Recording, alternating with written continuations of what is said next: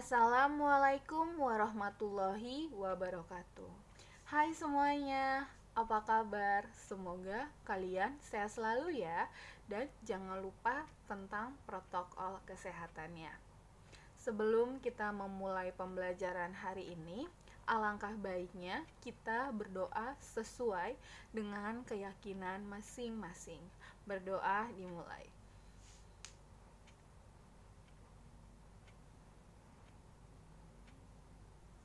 Amin. Tetap semangat ya, walaupun kita semua di rumah aja untuk melakukan pembelajaran jarak jauh, kita semua harus tetap semangat. Apalagi kalian, kalian harus tetap semangat untuk melakukan ini semua. Jangan lupa untuk mengerjakan tugas, absensi, ataupun menonton video pembelajaran yang ada di YouTube SMA Widya Manggala. Jangan pada males-malesan ya, karena ini berdampak kepada nilai kalian.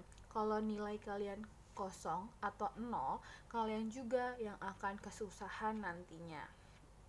Dan karena sudah kelas 3, kalian harus berubah, jangan seperti di kelas 11. Tetap semangat ya. Oke, minggu lalu sudah masuk ke bab 2 dengan materi globalisasi, pengertian globalisasi, faktor penyebab adanya globalisasi, dan aspek negatif ataupun positif terhadap globalisasi. Nah, minggu ini saya akan membahas tentang dampak globalisasi dalam beberapa bidang yang ada di Indonesia.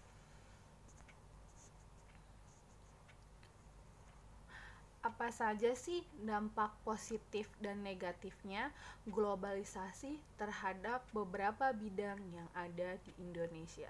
Jadi, di materi ini saya akan membahas dampak positif dan negatifnya. Kali, kalian pun sudah banyak yang tahu tentang dampak positif dan negatif dari beberapa bidang. Ini saya ulas kembali agar lebih kalian mengetahui atau mengingat kembali tentang dampak globalisasi. Yang pertama ada di bidang ekonomi. Nah, di bidang ekonomi, dampak positifnya pastinya yang pertama terbukanya banyak lapangan pekerjaan yang baru. Pastinya ya, itu dengan adanya globalisasi pasti banyak lapangan pekerjaan yang kedua, pemasukan devisa dari sektor pariwisata akan semakin bertambah karena orang semakin banyak tahu tentang uh, adanya pariwisata yang di Indonesia dan bisa membuat devisa negara bertambah.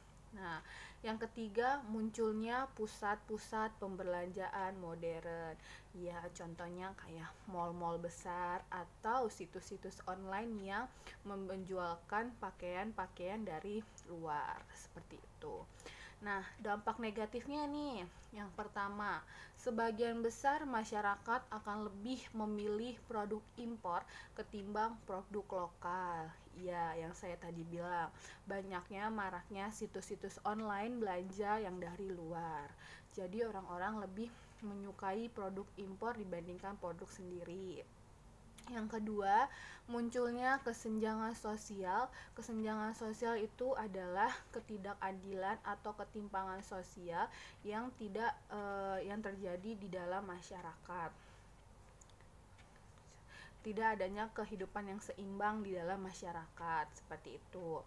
Yang ketiga, memperburuk pertumbuhan ekonomi di dalam negeri bila tidak ditangani dengan baik. Nah, lihat ya, sekarang sudah kelihatan deh kalian pun sudah tahu di kehidupan sehari-hari pertumbuhan ekonomi di Indonesia makin memburuk ya apalagi dengan adanya corona seperti ini seperti itu Nah, pasti kalian tahu ya di bidang ekonomi itu seperti apa dampak positif dan dampak negatifnya. Oke, sekarang lanjut ke bidang politik yang kedua. Dampak positifnya adalah hubungan kerjasama internasional di berbagai bidang akan semakin luas. Pastinya ya, kayak zaman sekarang untuk kerja ke luar negeri atau memiliki pekerjaan di luar negeri itu semakin mudah. Terus kedua, banyaknya negara yang berpartisipasi dalam menciptakan perdamaian dunia. Contohnya adalah ASEAN atau PBB ya, pasti kalian tahu. Yang ketiga, menghormati adanya hak asasi manusia. Di zaman sekarang, apalagi di zaman globalisasi ini, semua orang me, e, menggalakkan tentang hak asasi manusia. Ada masalah dikit tentang hak asasi manusia, pasti semua orang ikutan untuk membela ataupun menghormatinya. Pasti. Nah, ada dampak negatifnya nih. Berkurangnya peran masyarakat dalam menjaga keamanan, ketertiban, dan kedaulatan negara.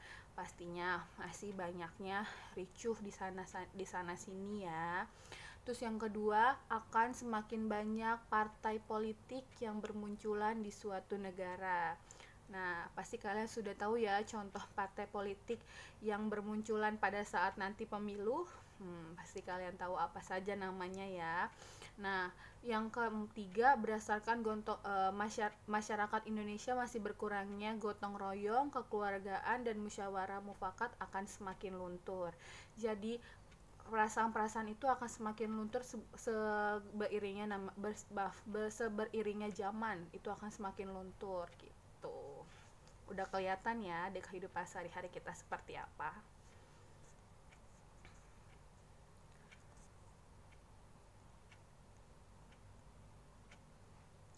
Nah, yang ketiga di bidang sosial budaya ada dampak positifnya yaitu yang pertama meningkatnya taraf pendidikan suatu negara. Iya, nah karena adanya sosial budaya jadi pendidikan yang tadinya rendah menjadi lebih tinggi. Terus akan menumbuhkan sikap toleransi atau tolong menolong di masyarakat. Yang ketiga, kemajuan iptek ilmu pengetahuan teknologi di negara semakin berkembang pastinya ya. Kalian juga sudah tahu. Nah yang ada dari dampak negatifnya nih dari sosial budaya. Meningkatnya sifat individualisme hidup sendiri-sendiri materialisme atau boros dan konsumtif pun hampir sama hidup yang menghambur-menghamburkan duit atau uang yang kedua, ada rasa nasionalisme masyarakat akan semakin pudar, sama seperti tadi di bidang politik ya. Sebagian besar masyarakat akan meniru budaya dan gaya hidup negara lain. Contohnya di zaman sekarang ya, orang-orang mengikuti gaya K-pop ya, gaya Korea. Nah, itu salah satunya dari dampak negatif adanya globalisasi. Yang keempat ada bidang agama. Nah, bidang agama dampak positif yang pertama adalah pastinya informasi dan berita mengenai agama akan semakin mudah didapat dengan adanya teknologi. Penyebaran agama dapat dilakukan dengan memanfaatkan berbagai media online. Iya, sekarang yang tadinya kita harus datang ke musola atau masjid untuk mendengarkan syiar atau dakwah. Nah, sekarang kita sudah bisa nonton di YouTube seperti itu. Yang ketiga, dapat membantu meningkatkan pengetahuan dan kualitas dalam beribadah. Bisa menonton juga dari teknologi. Dampak negatifnya nih, umat beragama dapat mengalami pergeseran identitas akibat pengaruh informasi dari media massa contohnya kayak televisi, HP ataupun yang lain. Nah, walaupun di dalam situ ada melalui media online, tetapi dengan media online pun bisa membawa dampak negatif. Terus penggunaan ayat suci di dalam agama dipakai untuk kepentingan pribadi dan kelompok tertentu. Dan yang terakhir, adanya potensi radikalisme dan budaya asing yang berbahaya sehingga diikuti oleh umat beragama. Nah, radikalisme adalah sebuah kelompok atau gerakan politik yang kendor dengan tujuan mencapai kemerdekaan atau pembaruan yang mencakup mereka itu membuat republik atau negara sendiri. Jadi dengan adanya globalisasi ini juga menyebabkan orang untuk membuat negara sendiri dengan paham sendiri seperti itu. Nah, kalau di bidang pendidikan, kalian pun sudah tahu ya dampak positifnya memberi kalian kemudahan untuk mencari segala yang kalian inginkan atau kali pelajaran kalian tidak mengerti di internet. Itu dampak positifnya. Kalau dampak negatifnya, iya kalian membuka situs-situs untuk mencari materi pembelajaran kalian tidak mengerti, tapi pasti ada namanya situs-situs yang berbahaya terus adanya kesenjangan sosial sama yang tadi yang tidak adilan yang tidak hidup tidak seimbang di antara peserta didik. Terus peserta didik menjadi bergantung pada teknologi. Nah itu relate banget sama kehidupan di zaman sekarang ya. Apalagi sekarang lagi corona gini ya kan semuanya menggunakan handphone semuanya menggunakan smartphone.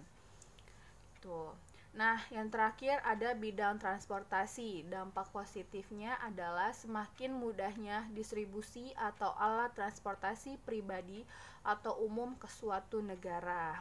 Ya, dengannya adanya kereta cepat lah atau ada tol yang digunakan untuk um, apa uh, membuat perjalanan menjadi lebih mudah lah atau segala macam. Yang kedua, semakin canggihnya teknologi transportasi. Nah, kalau di negara Jepang ya atau negara yang sudah maju, negaranya transportasinya sudah kebanyakan menggunakan transportasi eh maaf, menggunakan teknologi. Terus biaya transportasi umum dan pribadi akan semakin murah. Ya, apalagi di zaman sekarang semuanya menggunakan kartu sampai angkutan umum pun di Indonesia menggunakan kartu ya yang J1 itu ya kalau nggak salah namanya. Terus yang keempat, waktu tempuh dalam berkendara akan semakin cepat. Pastinya apalagi dengan adanya globalisasi ya kan? Yang kemarin di globalisasi itu bilang kalau ruang dan waktu itu akan semakin cepat. Ruang itu akan uh, semuanya akan lebih dekat dan waktu itu akan semakin lebih cepat seperti tidak seperti biasanya kalau dengan adanya globalisasi.